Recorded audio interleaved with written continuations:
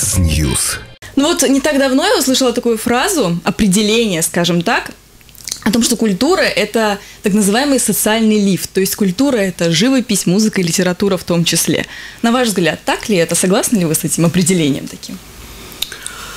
Ну, с одной стороны, я могу с вами согласиться с этим определением, поскольку э, культура э, сама по себе не существует, она имеет смысл только если она адресована в общество, она направлена в общество, если она социальна по своей природе.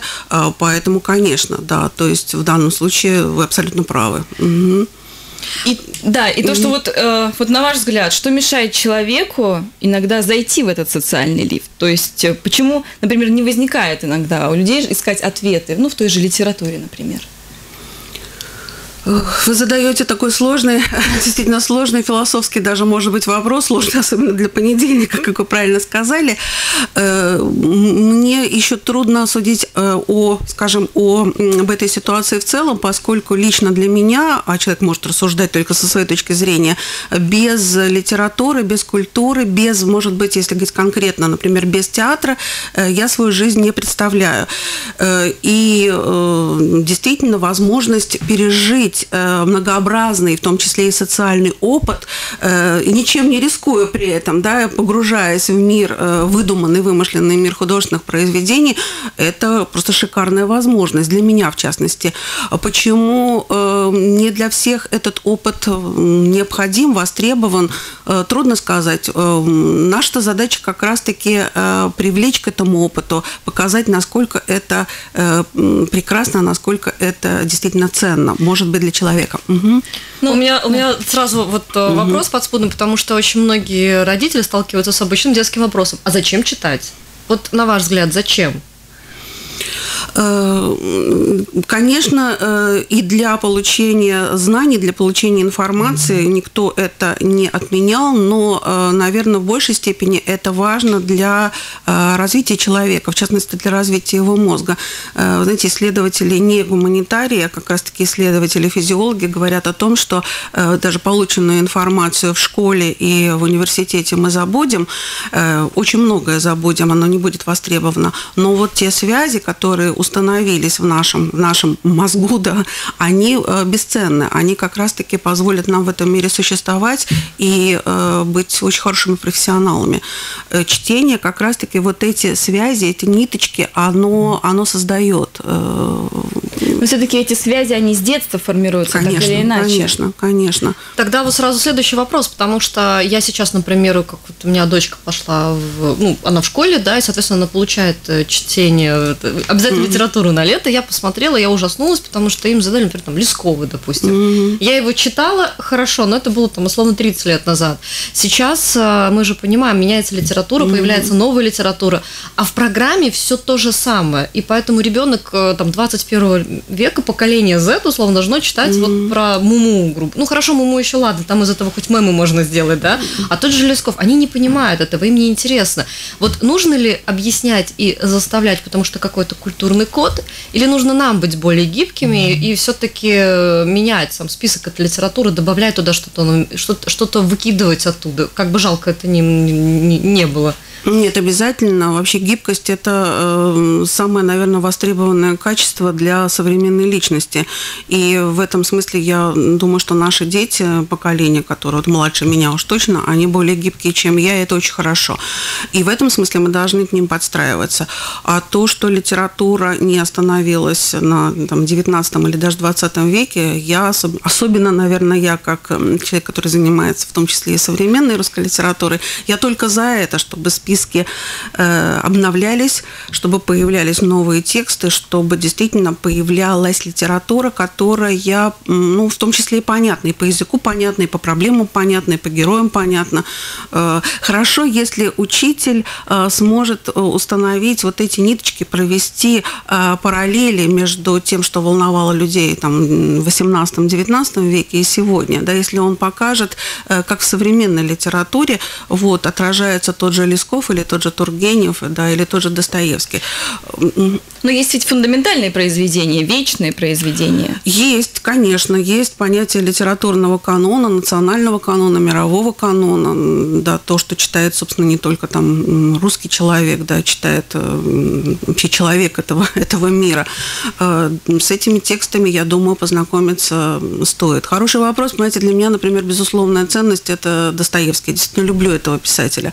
Вот. Но я до сих пор не могу найти ответ на вопрос, вот как его читать э, там 14-15-летнему ребенку. Ну, то же да. самое можно сказать mm-hmm. про «Войну и мир», да, ну, Каренину Толстого, mm-hmm. да, можно. то есть, скажем, в, там, в 25-30 лет ты воспринимаешь это совершенно иначе. Mm-hmm. В 15 лет прочитать баталии Толстого на, в двух томах – это довольно сложно. И, тем не менее, это, все равно это дается в школьной программе. Вот, на ваш взгляд, это правильно? Хотя будут знать, хоть в кратком содержании? Или нужно оставлять такие произведения уже на собственный выбор? Выросли, прочитали. Ну, знаете, тут тоже возражение, а прочитают ли, да, узнают ли, как, хотя бы на уровне нескольких страниц, да, подойдут ли к этому, к этому автору. Э, может быть, э, знакомство, пусть и не полностью, но хотя бы частично, оно носит такую рекламную функцию. Да, вдруг когда-то вот вспомнит и прочитает полностью. Вдруг какая-то надежда, э, надежда есть. Знаете, я говорю тоже своим студентам, что чтение полезно, ну вот в любом его виде, э, даже если то, что, то, что написано на заборах, читается, да, это уже тоже хорошо, пусть читают. Ну, вы Лишь понимаете, бы читали, да. Лишь да? бы читали, да, в том-то и дело. Поэтому, конечно, идеально, если бы прочитали, да, не только про мир, но и про войну. Хотя мы с вами, наверное, рассуждаем вот как в данном случае девочки. Потому что я знаю молодых людей, которые с удовольствием прочитали как раз-таки военные страницы. Не, я читала военные страницы. Вот, я вот. два раза читала «Войну и мир». Я это считаю своим личным рекордом просто. Зачем вообще людям идти на филологию? Филологию на русскую? То есть насколько она сейчас актуальна, насколько она сейчас востребована?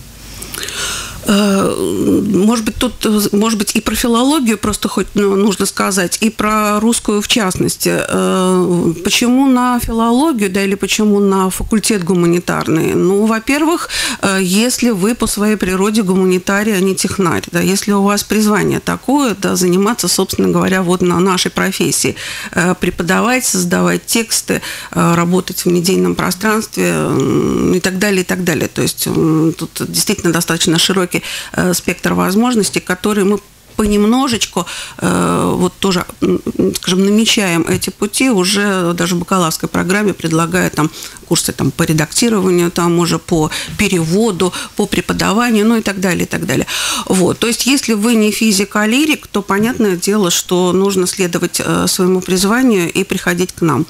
А второй момент, это, кстати, тоже связано с филологией в целом, вы знаете, даже, может быть, э, стоит прийти на э, какую, освоить какую-то гуманитарную э, специальность, даже если вы и не гуманитарий по природе. Почему?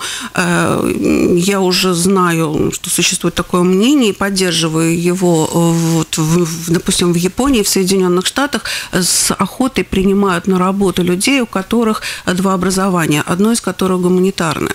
Угу. То есть как раз-таки гуманитарное образование дает очень необходимые в этом мире э, не вот эти hard skills, даже твердые, жесткие навыки, а soft skills.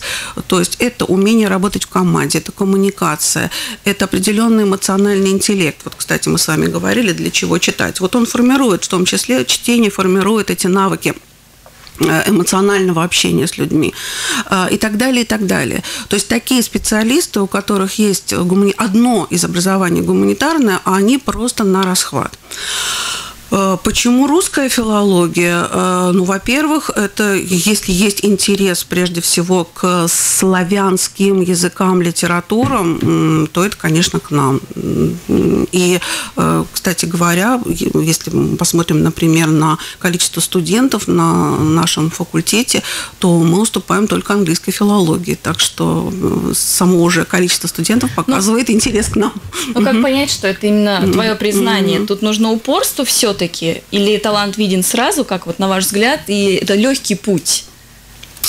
Э, вы знаете, путь, э, любой путь нелегкий, э, и тут получается по-разному. Кто-то, конечно, понимает сразу, что пришел не туда. И, ну, на первых курсах. Да, видно. на, на желательно. Но тем не да. менее, угу. все-таки студент приходит, абитуриент приходит. Приходит, есть, приходит, приходит, конечно. Порыв есть, сердце подсказывает, что идти нужно, и в итоге оказывается, что это не, не та профессия, которая, в которой он может показать себя. Такое тоже случается. Вы знаете, что могу отметить, исходя из опыта последних лет? Э, у нас э, вот в последние годы определенным образом формируются новые группы. Это примерно половина тех, кто только что закончил школу, ну и девочки и мальчики, которые вот любят читать, любят изучать языки, кстати, хотят получить образование на русском языке, что уж тут скрывать-то, это тоже определенный довод, почему нет. Вот. А вторая половина, а вторая половина – это те, кто уже попробовал себя в другой профессии, в другой специальности. Они постарше, и они приходят уже осознанно. Они понимают, что в свое время не рискнули. Знаете, родители говорят, ну куда тебе на русскую филологию? Юристом да, будешь. Да, да, юристом, экономистом будешь. Экономистом. Да, вот, лучше же, чем филологом. Вот, тем не менее, призвание да, победило. Есть у нас звонок, надевайте, пожалуйста, наушники, мы примем его, вот только что он был, да, и перезвоните, 612-93-9 и 612-13-93-9. Доброе утро, слушаем вас. Доброе утро. Да. Вы знаете, вспоминаю одну из миниатюр Хазанова. Значит, он говорит, там в миниатюре там так было, что я за свою жизнь две книжки прочитал «Муму» и «Аня Каренина». И то не помню, в какой из них ну, Герасим свою собаку под паровоз бросил. Вот. Да. Так вот, у меня э, случилась такая вещь, я с человеком, выпускником русской школы, и это первое высшее образование у нас там сейчас есть, спросил, э, что, кто такая Анна Каренина? Он сказал, писательница, наверное. Вот, э, понимаете, то есть человек э, уже с русской школы выпускник, заранее говорю. И я что еще могу сказать, что я не знаю, вот как вот, ну, мне кажется, что вот Муму, вот это вот, это обязаловка, чтобы все прочитали, ну, чтобы знали, как тогда жилось, да? Вот, мне так кажется. Да, у вас будет а вопрос вот какой-то, я... или вы просто хотели да не прокомментировать? Будет, если можно, я еще скажу один, одну фразочку, или там две виноват. Мне кажется, что сегодня, если, скажем, кто-нибудь из русских, русских, русскоязычных будет э, пропагандировать современную литературу, то я, скажем, думаю, что Захара Прилепина никто не прочитает, а ведь это тоже часть нашей, ну, нашей русской жизни. Всего вам доброго, спасибо. Да, спасибо то, вам, спасибо вам за звонок. Ну вот такой комментарий от нашего радиослушателя. О современных классиках. Есть ли среди нас живые классики или для того, чтобы действительно по достоинству оценить какого-то писателя, вот на ваш взгляд, должно пройти время, какой-то период, чтобы посмотреть на него уже другими глазами? Ну, для, для того, чтобы действительно э, обрести статус классики, классика и классики, время действительно надо. А с другой стороны, э, существуют э, такие социальные институты, которые определяют, э, достаточно, кстати говоря, точно определяют э, статус э, современных писателей, выдавая им очень такие престижные премии. Например, премия Андрея Белого в статус классика уже возвела Владимира Сорокина, да, угу. вот, ну, например, да, вот Трудно сказать, э, опять же, невозможно просто сказать, кто из современных вот будет читаться через сто лет, тут точно не рискну. А вот. Но, тем не менее, есть целый, целый э, ряд авторов, ну, собственно, которые уже сегодня в какой-то степени каноничны. Ну, насчет Захара Прилепина не скажу, да. Так, еще у нас был звонок, но я, кстати, хотела вас спросить, поскольку наш радиослушатель вернул нас к mm-hmm. литературе. Mm-hmm. Вот э, если говорить о детстве, да, мы говорили о формировании, и когда у нас закладывается естественно, какая-то любовь к литературе в том числе, мне кажется, что сказки формируют нас так или иначе в детстве. Вот а, стоит ли их перечитывать спустя время? Вот я, например, совсем недавно перечитала «Волшебник изумрудного города», и если раньше для меня Гудвин был могущественным волшебником, то сейчас меня посетило такое разочарование, поскольку я поняла, что он просто обманщик.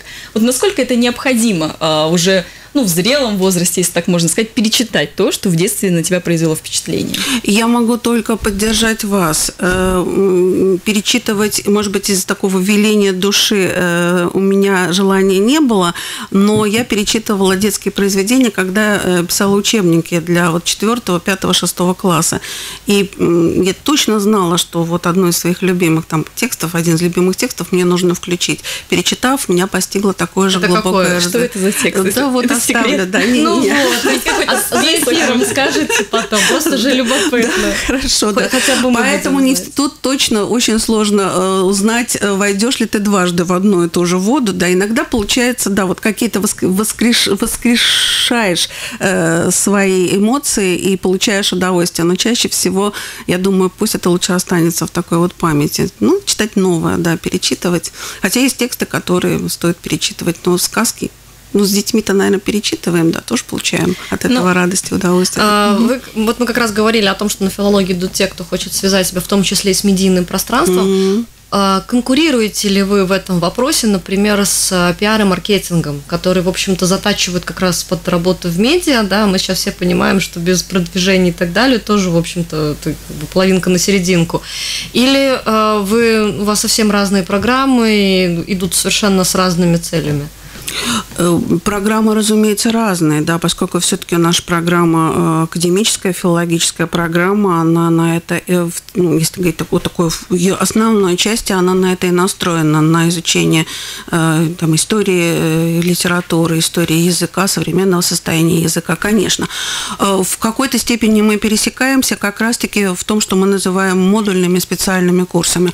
Вот тут мы предлагаем целый ряд, целый ряд курсов, которые ну, помогают помогают, э, опять же, в этом, на мой взгляд, помогают в этом медийном пространстве работать. Да, это там и риторика, и техника речи, и работа с различными текстами, и рекламными. И вот я, например, веду один из моих любимых курсов «Введение в практику художественного текста», где как раз ребята пишут творческие тексты.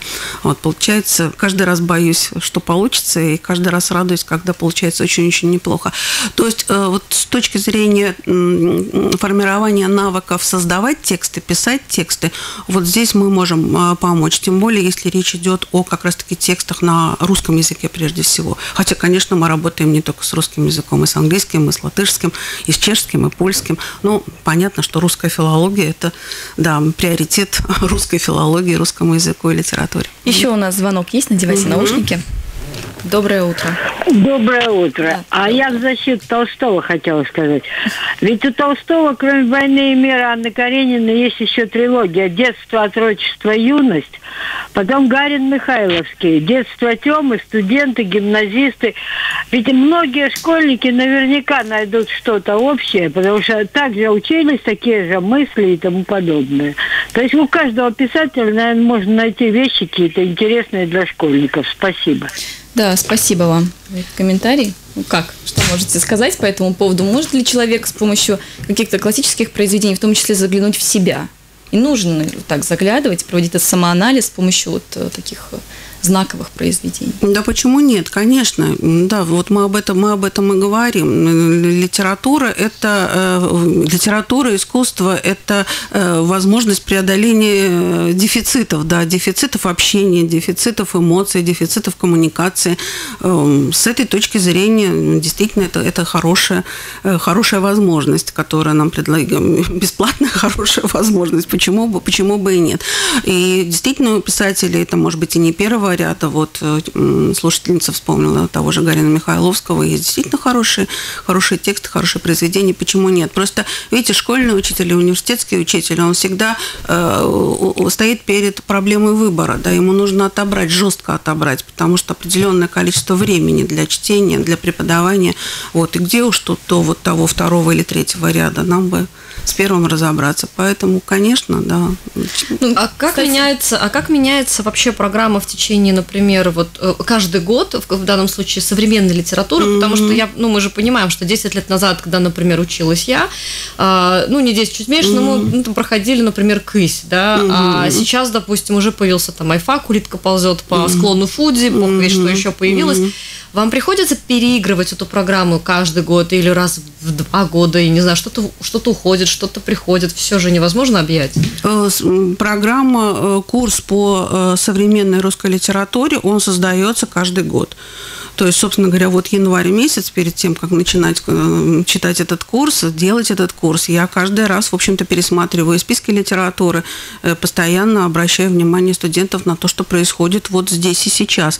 Вот, например, в этом году приведу хороший, хороший пример, у нас хорошо получился. Мы вместе с нашими магистрами включились в работу, ну, подключились так виртуально к работе литературной премии «Национальный бестселлер». Вместе с жюри выбирали, пытались понять, кто из этого там большого списка попадет в маленький список и станет э, лауреатом. То есть мы занимались вот тем, тем же, той же литературой, теми же текстами, которые сейчас волнуют э, ну, то самое большое литературное э, сообщество.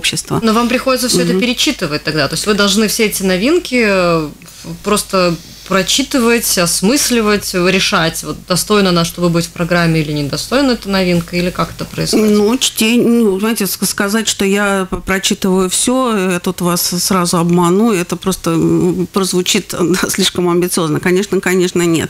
Вот, просто есть уже определенный навык э, отбора произведений, да, и, в общем-то, понимания того, что, ну, стоит, наверное, прочитать. Тут могу сказать, что этот, этот опыт, этот опыт у меня есть, да, поэтому ну да, читать приходится много, так нам нравится это делать. А дочка читает? Читает. Дочка филолог, дочка доктор филологии, куда ж да. Куда же я без да, Настя? Да, да, да, У нас, да, есть звонок, примем его еще. Вы надевайте наушники. Здравствуйте, доброе утро.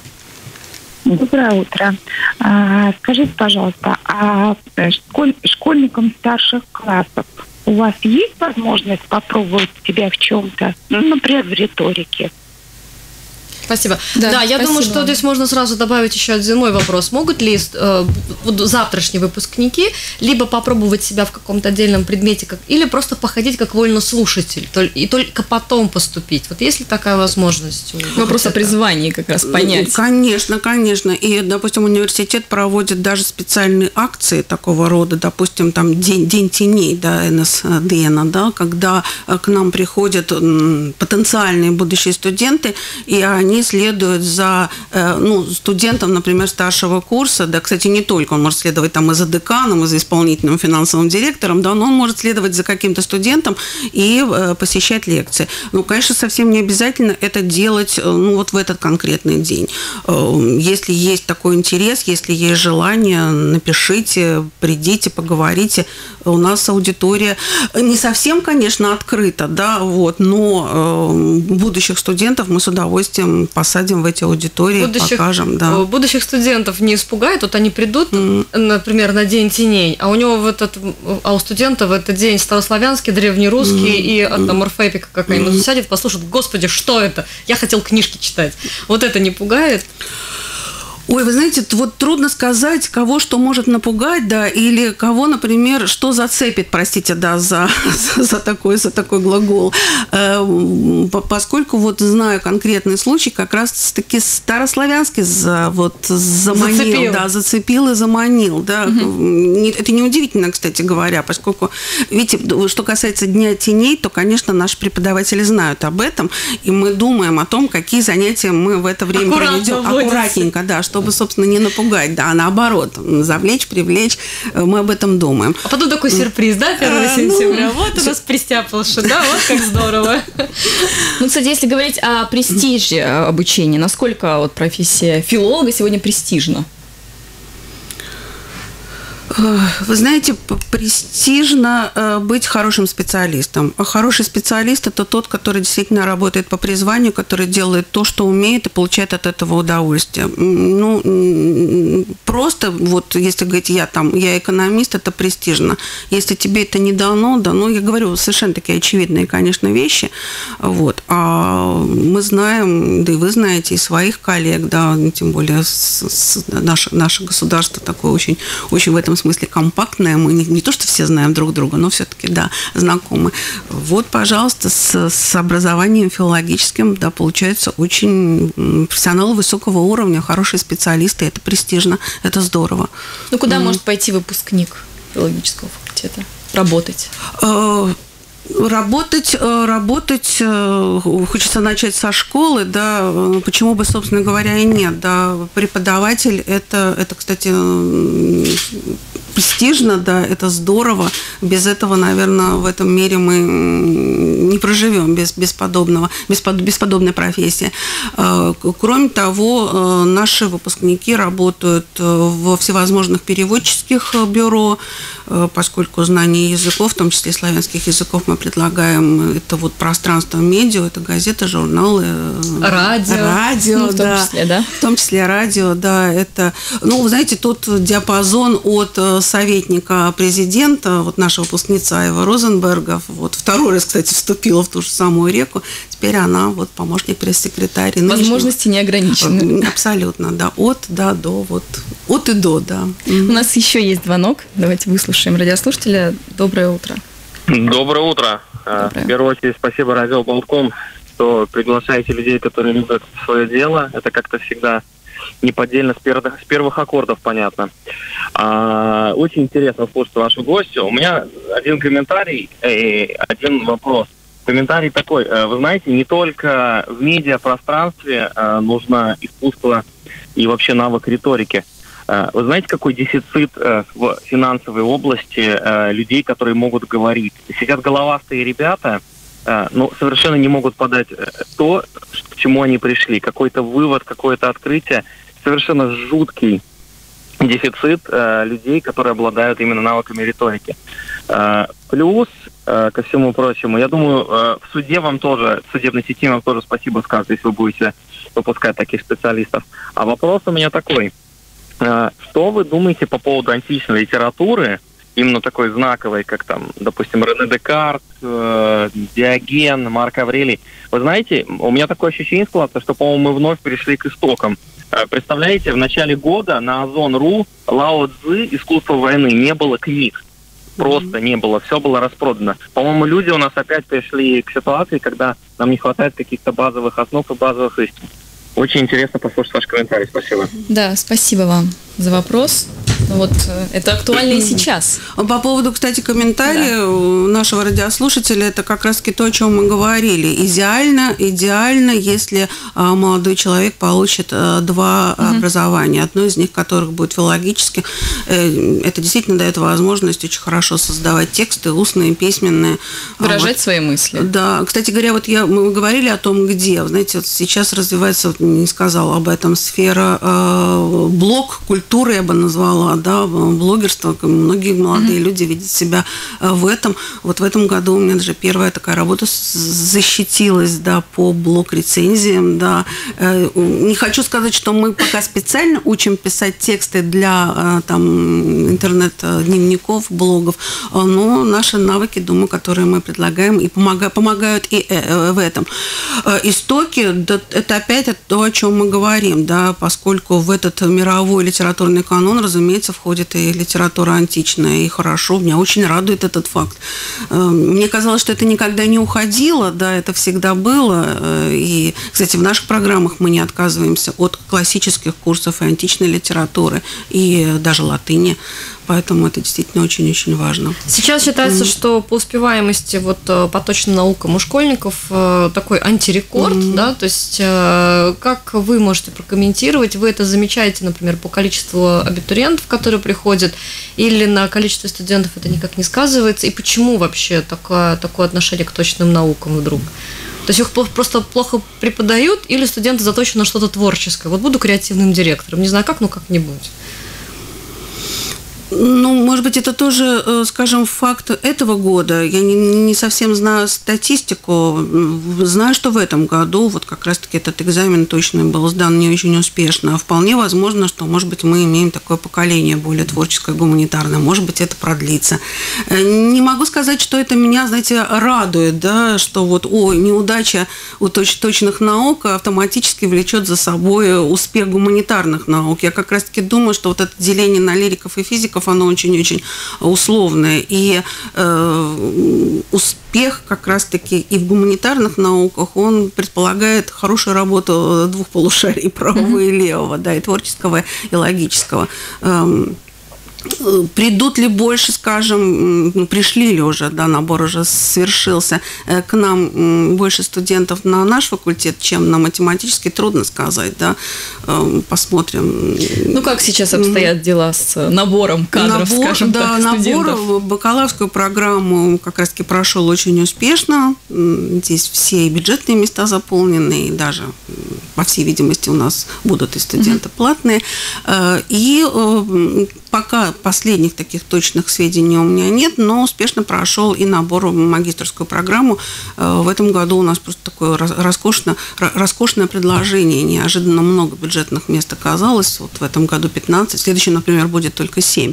Угу. Вот, да, поэтому... Поторопиться надо. Кто да, хочет да. на бюджет, вот, может да, сейчас кто, поторопиться. Может быть, да, может быть, еще стоит и поторопиться, хотя вот сегодня узнаю, осталось ли это одно бюджетное место, которое еще было в пятницу. То есть еще есть шанс, возможно, может, у кого-то. Может быть, да, может быть, у кого-то Случается ли, что, например, студент поступи, э, хочет поступить э, и поступает, может быть, э, и тут оказывается, что у него, у него нет бюджетного места, что ему надо будет платить, и он не остается учиться?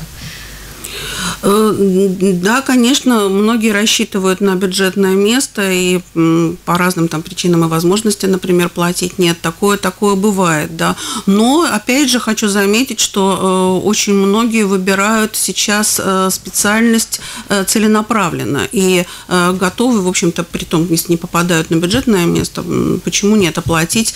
Как правило, кстати говоря, это год.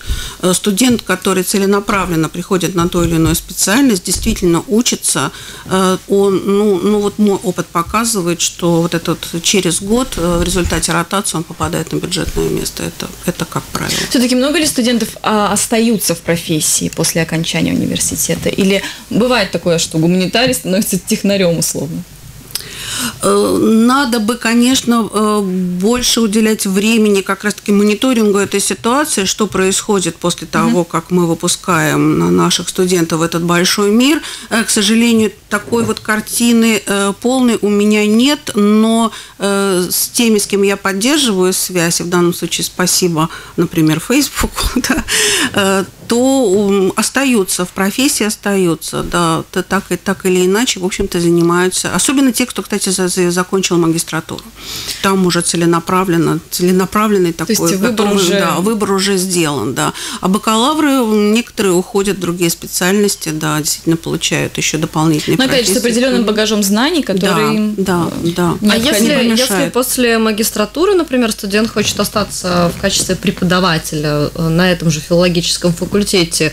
Насколько это сложно сейчас сделать, насколько у вас заняты все места, или, может быть, э, такая возможность есть, и вы идете навстречу, что-то придумываете для того, чтобы дать какой-то вот такой старт?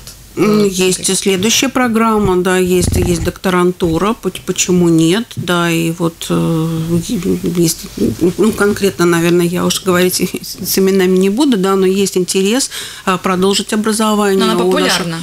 Да, да, да, в последнее время, кстати говоря, достаточно, ну, недостаточно часто, там уже совсем, у нас магистратура, знаете, такой штучный товар, да, каждого мы знаем, каждого мы ценим, каждого мы любим, да, а уж докторантура это действительно... Уже коллеги. Да, это уже коллеги коллеги, да.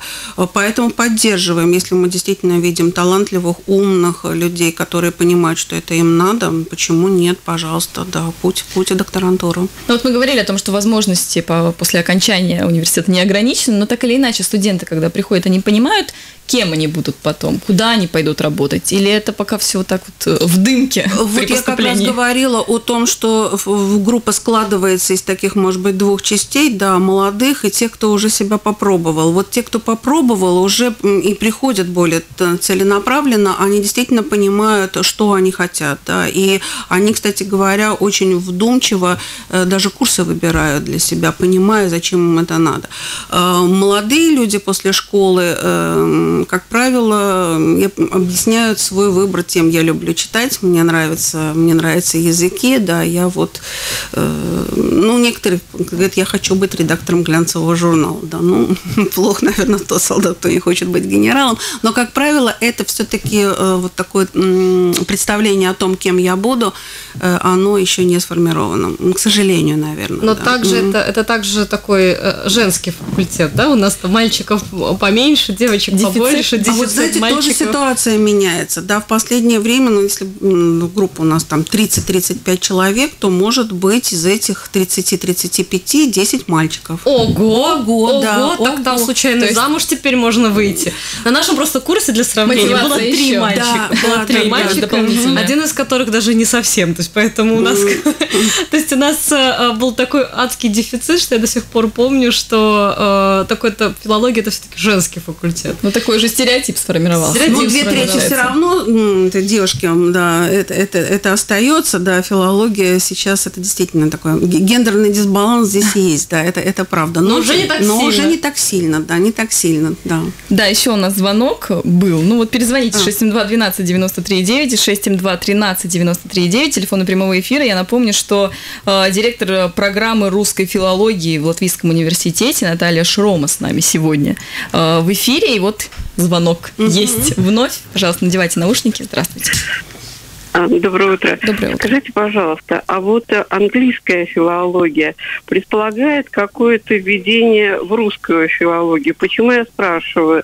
Я думаю, что овладение другим языком и понимание каких-то тончайших нюансов другого языка невозможно без э, владения в совершенстве инструментом родного языка.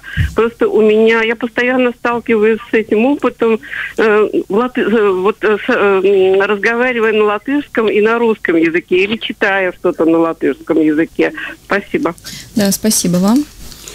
Э, если говорить конкретно о программе английской филологии, то в этой программе есть такой блок, он называется «Контрастивные студии», и программа предлагает э, целый ряд языков, не только это французский, там, немецкий или испанский, э, но это и русский язык. То есть можно, можно выбрать для тех, кто, допустим, не знает русского языка, почему, почему бы и нет. Да? Естественно, мы тоже в своей программе предполагаем на очень разных курсах э, вот этот момент сопоставления. И сопоставления языков, то есть контакты языков там и славянских, и с неславянскими, и в том числе и сопоставление литератур. Да, то есть мы постоянно думаем вот об этом контексте, о погружении в другие национальные культуры, литературы.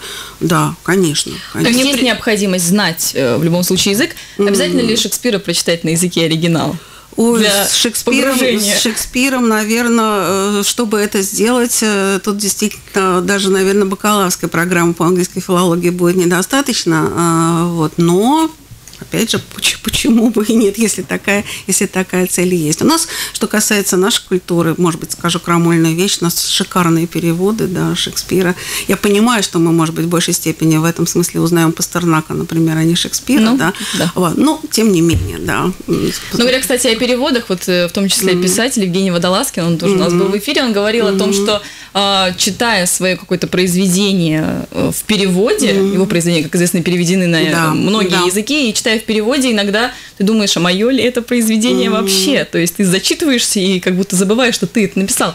Вот э, действительно э, перевод, он настолько кардинально может поменять и восприятие в том числе читателя произведения. Э, да, думаю, что э, в данном случае автор абсолютно да, э, прав, поскольку, видите, читая, читая переводные произведения на русский язык, мы их воспринимаем как произведения уже своей культуры, они интегрированы в нашу культуру. Мы, конечно, понимаем, да, что это Шекспир, там Гёте, ну или не знаю, да, Байрон, но тем не менее, еще раз говорю, перевод – это способ включить чужое в свою культуру, да, и это скорее уже что-то наше, чем, собственно говоря, оригинальное оригинальное, оригинальный их. Это прекрасно понимаешь, когда видишь переводы, э, допустим, Пушкина на там, латышский или английский язык, да, угу. то есть понимаешь, что это не, не совсем, не совсем Пушкин, да, это, это а, нечто, нечто другое. А вот насколько вообще популярна русская классическая литература э, в мире сейчас, на сегодня? Вот как вы считаете?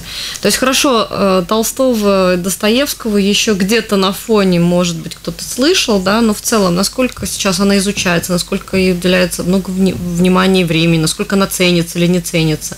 Потому что, если взять там американцев или англичан, не знаю, ирландцев, у них свой огромный пласт литературы, который они изучают, да, а тут вот еще русская классика.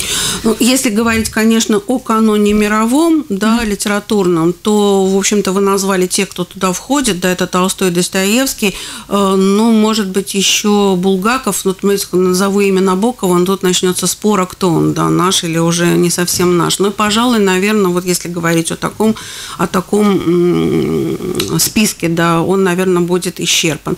Э, это понятно. Э, интерес есть, кстати говоря, научный, да, ведь огромное количество программ по русской филологии, по славистике во всех мировых университетах. С этой точки зрения интерес, конечно, есть. Э, у широкого там, читателя, зрителя, может быть, да, кстати, тоже вот интерес к русской литературе проявляется в тех же, в тех же экранизациях. Правда, опять мы приходим к тому же, в общем-то, небольшому, может быть, списку, да, добавим сюда еще там Пастернака, например. Ну, кстати, э, писатель Михаил Веллер, который также mm-hmm. был в нашем эфире, он mm-hmm. говорил о том, что тоже довольно, возможно, спорную э, такую мысль он высказал, она, по крайней мере, многие дискутируют на эту тему, э, что классика, русская классика, она довольно депрессивна в большинстве своем. Вы согласны с этим, как вы считаете? В том числе ваш любимый Достоевский. Ну, Достоевский, да, и в том числе Анна Каренина, как он сказал, она бросилась под паровоз, и в целом, ну вот все это вот в таком ключе, на ваш взгляд. А, вы знаете, может быть, э, тут надо говорить не о депрессивности, может быть, как раз-таки о таком важном экзистенциальном опыте, да, который как раз-таки тоже да, такую прививочку к очень сложным категориям там, жизни, смерти, предназначения делает. Поэтому я как-то так на это смотрю. Э, а если, если кого-то это повергает в такое состояние уныния и депрессии, ну, может быть, надо найти более жизнерадостного автора. Например, тот же, тот же мне кажется, Пушкин, он такой солнечный, э, радостный, да, веселый. Э, вот, или, или, скажем, романы. Хотя роман Тургенева, может быть, тоже можно прочитать с этой точки зрения. Не знаю. Для меня классическая русская литература не депрессивна, это точно. Угу. Несмотря, может быть, на, трагические, на, на обилие трагических сюжетов. Она для вас более психологическая психологическая, или как вы ее воспринимаете? Ну, потому что если говорить, там, ну, не знаю, читать «Преступление и наказание», читать там «Идиот», это, это, ну, это не веселое произведение, там юмора, в общем-то, нет. А как, как вы их воспринимаете? Вы говорите, она для меня не депрессивна. А какая? Ну, то есть, с точки зрения, там, может быть, препарирования человеческой души как-то читать или как? Э, вы знаете, я, наверное, в, в каком-то смысле плохой... Э, аналитик? Нет, не, не в данном случае не аналитик, а э, плохой собеседник как раз-таки по отношению к, к этому вопросу. Почему? Потому что, э, видите, я э, читаю э, не столько для того, чтобы узнать что, а я читаю э, для того, чтобы почувствовать как. Э, поскольку вот мы с вами в этом смысле профессионалы, профессионалы, да, меня интересует, я получаю удовольствие от самого языка, да, от этой стихии. Я начинаю читать, и, в общем-то, вот, вот, вот, вот эта стихия, она действительно захватывает настолько, что уже даже и не важно, и не важно что, да, повторюсь, важно, важно как. Вот как я читаю. Богатство да, языка. Вот. Ну, Оно перекрывает весь Перекрывает, да, для меня, для меня перекрывает, да. Но все-таки mm какие чувства должны быть у читателя mm после прочтения, на ваш взгляд?